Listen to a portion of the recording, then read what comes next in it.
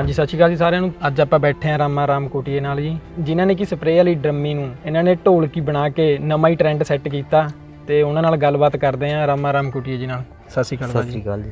ਤੇ ਭਾਜੀ ਤੁਸੀਂ ਮਤਲਬ 2-3 ਸਾਲ ਹੋ ਗਏ ਤੁਸੀਂ ਵੀਡੀਓ ਪਾਉਂਦੇ ਨੂੰ ਮੈਂ ਫੇਸਬੁੱਕ ਚੈੱਕ ਕਰੀ ਆ ਨਾ। ਹਾਂਜੀ ਤੇ ਤੁਹਾਡੀਆਂ ਹੁਣੇ ਕਿ ਆ ਮੈਂ ਕਹਿੰਦਾ ਸਮਥਿੰਗ 6 ਮਹੀਨੇ 5-4 ਮਹੀਨੇ ਤੋਂ ਤੁਹਾਡੀ ਵਾਇਰਲ ਜ਼ਿਆਦਾ ਹੋ ਗਈਆਂ ਨਾ YouTube ਤੇ ਵੀਡੀਓਜ਼ ਹਾਂਜੀ ਤੇ ਉਹ ਪਹਿਲਾਂ ਮਤਲਬ ਕੀ ਚੱਕਰ ਪਿਆ ਸੀਗਾ ਵੀ ਤੇ ਹੁਣ ਕੀ ਚੱਕਰ ਪਿਆ ਵੀ ਮਤਲਬ ਪਹਿਲਾਂ ਇੰਨੀ ਜ਼ਿਆਦਾ ਵਾਇਰਲ ਨਾ ਹੋ ਸਕੀਆਂ ਕੀ ਨਹੀਂ ਸਰ ਦੇਖੋ ਵੀਡੀਓ ਮੇਰੀਆਂ ਪਹਿਲਾਂ ਵੀ ਕਾਫੀ ਵਾਇਰਲ ਹੋਈਆਂ ਸੀ। ਪਹਿਲਾਂ ਸੀ ਫੇਸਬੁੱਕ ਤੇ ਕਿਉਂਕਿ ਸਾਡਾ ਪੇਜ ਬਣਿਆ ਸੀ ਫੇਸਬੁੱਕ ਤੇ ਹੀ ਪਾਉਂਦੇ ਹੁੰਦੇ ਸੀ। ਉਸ ਤੋਂ ਬਾਅਦ ਮੇਰਾ ਇੱਕ ਕੰਪਨੀ ਨਾਲ ਐਗਰੀਮੈਂਟ ਵੀ ਹੋਇਆ ਸੀ ਐਗਰੀਮੈਂਟ ਹੋਣ ਤੋਂ ਬਾਅਦ ਉਹਨਾਂ ਨੇ ਮੇਰੇ ਕੁਝ ਗੀਤ ਵੀ ਰਿਲੀਜ਼ ਕਰਵਾਏ। ਉਸ ਤੋਂ ਬਾਅਦ ਕੁਝ ਐਸਾ ਚੱਕਰ ਪਿਆ ਕਿ ਮੈਂ ਕੰਪਨੀ ਛੱਡਣ ਵਾਸਤੇ ਮੈਨੂੰ ਮਜਬੂਰ ਹੋਣਾ ਪੈ ਗਿਆ। ਉਸ ਤੋਂ ਬਾਅਦ ਜਿਹੜੀਆਂ ਇਹ ਵੀਡੀਓ ਪਾ ਰਹੇ ਇਹ ਚੈਨਲ ਪਾ ਰਹੇ ਆ ਜੀ। ਜਿਸ ਤਰ੍ਹਾਂ ਕਿ ਕਾਫੀ ਚੈਨਲਾਂ ਵਾਲੇ ਪਾ ਰਹੇ ਕਾਫੀ ਚੈਨਲ ਨੇ। ਪਾਈਆਂ। ਠੀਕ ਹੈ ਤੇ ਉਹਦਾ ਤੁਹਾਡਾ ਫੇਸਬੁੱਕ ਦਾ ਪੇਜ ਮੈਨੇਜ ਕੌਣ ਕਰਦਾ ਚਲਾਉਂਦਾ ਕੌਣ ਆ ਮਤਲਬ ਕੋਈ? ਮੇਰਾ ਆਪਣਾ ਹੀ ਛੋਟਾ ਵੀਰ ਹੈ ਜੀ। ਅੱਛਾ ਜੀ। ਹਾਂ ਸਾਹਿਲ ਕੁਮਾਰ ਉਹੀ ਮੁੰਡੇ ਮੈਨੂੰ ਇਸ ਸੋਸ਼ਲ ਮੀਡੀਆ ਤੇ ਲਿਆਉਣ ਵਾਲੇ ਉਹੀ ਦੋ ਸ਼ਖਸ ਆ ਬਾਈ ਸਾਹਿਲ ਕੁਮਾਰ ਸਾਰਨ ਤੇ ਬਾਈ ਕਰੇਜੀ। ਅੱਛਾ ਜੀ ਤੁਹਾਡੇ ਪਿੰਡ ਦੇ ਹੀ ਹੋਣੇ ਆ ਜੀ? ਹਾਂਜੀ ਹਾਂਜੀ ਆਪਣੇ ਮਿੱਤਰ। ਠੀਕ ਹੈ ਠੀਕ ਹੈ। ਕੋਈ ਨਵੀਆਂ ਕੰਪਨੀਆਂ ਵਗੈਰਾ ਤੇ ਕੋਈ ਕਿਸੇ ਦਾ ਮੈਸੇਜ ਵਗੈਰਾ ਵੀ ਹਾਂ ਤੁਹਾਨੂੰ ਪ੍ਰਮੋਟ ਕਰਦੇ ਆ ਜਾਂ ਕੁਝ ਇਦਾਂ ਦਾ? ਨਵੀਆਂ ਕੰਪਨੀਆਂ ਦੀ ਭਾਜੀ ਜਿੱਥੋਂ ਤੱਕ ਗੱਲ ਹੈਗੀ ਨਵੀਆਂ ਕੰਪਨੀਆਂ ਆ ਤਾਂ ਬਹੁਤ ਰਹੀਆਂ। ਪਰ ਉਹ ਸਿਆਣਿਆਂ ਦੀ ਕਹਾਵਤ ਆ ਕਹਿੰਦੇ ਜਿਹੜਾ ਦੁੱਧ ਤੋਂ ਮੱਚ ਜਾਵੇ ਉਹ ਲੱਸੀ ਨੂੰ ਵੀ ਫੂਕਾ ਮਾਰ-ਮਾਰ ਪੀਂਦਾ ਡਰ ਲੱਗਦਾ ਹੁਣ। ਪਹਿਲਾਂ ਹੋ ਗਈ ਨੇ। ਤੇ ਹੁਣ ਭਾਜੀ ਆਪਣੇ ਫਿਰ ਨਵੇਂ ਪ੍ਰੋਜੈਕਟ ਕਿਹੜੇ ਕਿਹੜੇ ਆ ਰਹੇ ਹਨ? ਨਵੇਂ ਪ੍ਰੋਜੈਕਟ ਬਾਰੇ ਵੀਰ ਜੀ ਹਜੇ ਤੱਕ ਕੁਝ ਨਹੀਂ ਸੋਚਿਆ।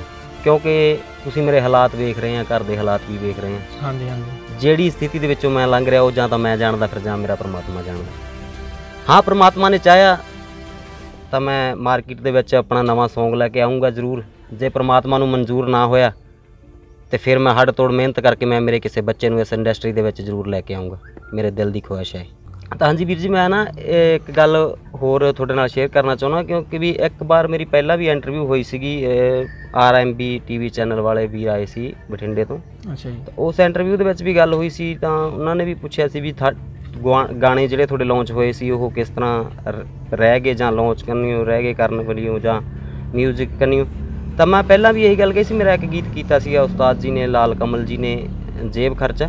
ਉਹ ਗੀਤ ਬਹੁਤ ਵਧੀਆ ਹੋਇਆ ਸੀ, ਉਹਨੂੰ ਰਿਸਪੌਂਸ ਵੀ ਵਧੀਆ ਮਿਲਿਆ ਸੀਗਾ 뮤직 ਵੀ ਬਹੁਤ ਵਧੀਆ ਸੀਗਾ, ਉਹਨਾਂ ਨੇ ਬਹੁਤ ਵਧੀਆ ਤਰੀਕੇ ਨਾਲ ਕੰਮ ਕੀਤਾ। ਉਸ ਤੋਂ ਬਾਅਦ ਜਿਹੜੇ ਗੀਤ ਹੋਏ ਉਹਨਾਂ ਦਾ ਵੀ ਇਹ ਗੱਲ ਮੈਂ ਕਮਾਂ ਤਾਂ ਇੱਕ ਆਰਟਿਸਟ ਬੰਦਾ ਕਵੇ ਤਾਂ ਨਹੀਂ ਫੱਬਦੀ, ਪਰ ਮੈਨੂੰ ਜਨਤਾ ਦੇ ਕਮੈਂਟਾਂ ਦੇ ਵਿੱਚ, ਜੇ ਕਿਸੇ ਨੂੰ ਨਹੀਂ ਵਿਸ਼ਵਾਸ ਤਾਂ YouTube ਤੇ ਸਰਚ ਮਾਰ ਕੇ ਵੇਖ ਸਕਦਾ। ਕਮੈਂਟਾਂ ਦੇ ਵਿੱਚ ਲੋਕਾਂ ਨੇ ਐਸੀਆਂ ਐਸੀਆਂ ਗੱਲਾਂ ਲਿਖੀਆਂ ਹੋਈਆਂ। ਕਹਿੰਦੇ ਵੀ ਤੂੰ ਇਹਦੇ ਨਾਲ ਸਪਰੇਅ ਦੀ ਟੈਂਕੀ ਤੇ ਵਧੀਆ ਗਾਉਂਦਾ ਸੀਗਾ 뮤직 ਕਿਹ ਜਿਹਾ ਬਣਵਾਇਆ ਏ ਹੂੰ ਅਹ ਭਾਜੀ 뮤직 ਮੇਰੇ ਹਿਸਾਬ ਨਾਲ ਵੀ ਤੇ ਬਹੁਤ ਬਹੁਤ ਧੰਨਵਾਦ ਵੀਰੇ ਤੁਸੀਂ ਸਾਨੂੰ ਕੀਮਤੀ ਸਮਾਂ ਦਿੱਤਾ ਆਪਣਾ ਸਤਿ ਸ਼੍ਰੀ ਅਕਾਲ ਜੀ ਸਾਰਿਆਂ ਨੂੰ ਮੈਂ ਤੁਹਾਡਾ ਆਪਣਾ ਰਾਮਾ ਰਾਮ ਕੋਟੀਆ ਤਾਂ ਦੋਸਤੋ ਮੈਂ ਤਹਿ ਦਿਲੋਂ ਧੰਨਵਾਦ ਕਰਦਾ ਸਾਡੇ ਪੰਜਾਬ ਰੂਟਸ ਚੈਨਲ ਦਾ ਜਿਨ੍ਹਾਂ ਨੇ ਕਿ ਆਪਣੀ ਉਹਨਾਂ ਦੀ ਟੀਮ ਪਹੁੰਚੀ ਆਪਣੇ ਕੋਲੇ ਅ, ਤੁਹਾਡੇ ਵੀਰ ਕੋਲੇ ਤਾਂ ਮੈਂ ਸਾਰੀ ਟੀਮ ਦਾ ਤਹਿ ਦਿਲੋਂ ਧੰਨਵਾਦ ਕਰਦਾ ਸਤਿ ਸ਼੍ਰੀ ਅਕਾਲ